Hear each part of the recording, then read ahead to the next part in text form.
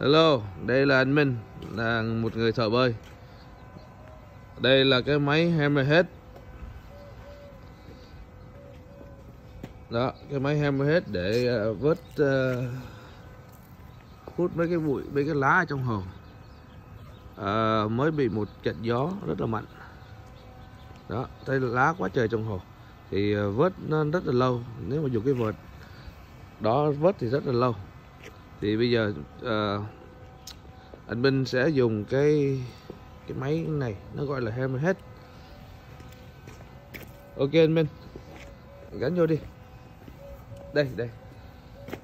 Đó anh Minh sẽ biểu diễn uh, uh, gắn máy hammerhead làm sao? Rồi trước hết á là anh lấy cái uh, dây điện ra. Đó cái dây điện đây. Đó là dây điện. Đây là cục pin. Đó xong cái là anh gắn vô cái nút này. Đó gắn vô. Rồi anh gắn vô xong rồi xong rồi bật máy lên.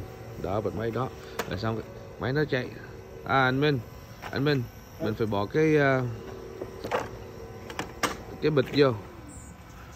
À, đây là cái bịch nè. Cái bịch này á, thì nó mình bỏ vô đây. Thì lúc mà nó hút bụi đó đó là, là cái bụi nó vô cái máy đó. Đây được rồi mình, ok rồi. Đó giờ mình sẽ chỉ cho mọi người gắn cái bịch này vô sao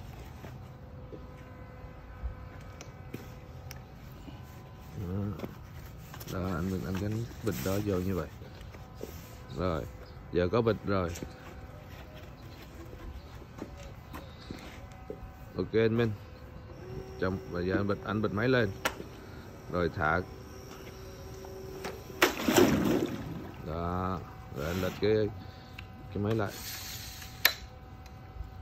Rồi mình hút đi.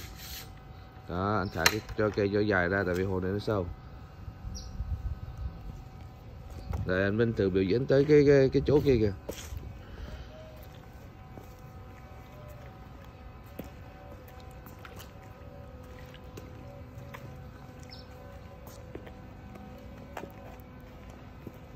Đó đây lá dưới đây không?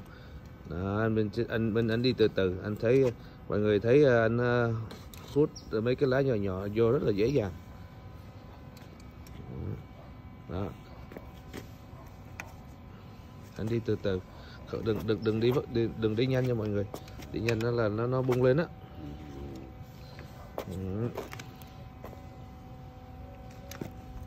Đó, thế anh, anh vặn vặn cái anh vặn cái cây á thì cái máy nó tự tự động nó nó, nó lái theo theo theo theo cái ý muốn của của anh. Đó, từ từ từ từ.